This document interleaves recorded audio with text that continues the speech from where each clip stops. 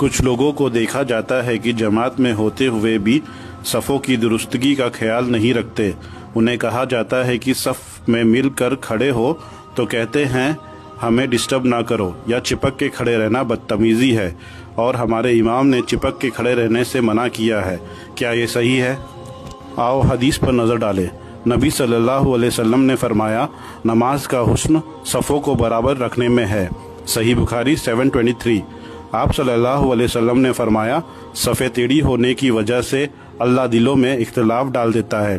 सही मुस्लिम 432 नबी सल्लल्लाहु अलैहि वसल्लम ने फरमाया, कदम से कदम, कंधा से कंधा मिलाओ, शैतान को बीच में जगह मत दो, अबू दाऊद 667 सैदना अनस रज़ी अल्लाह फरमाते हैं, जब नबी सल्लल्लाहु अलैहि वसल्लम हमें सफ़ेद दुरुस्त करने का हुक्म देते तो हम इस तरह खड़े होते थे कि हर नमाजी अपना पाव और कंधा साथ वाले के पाव और कंधे से चिपका देता था।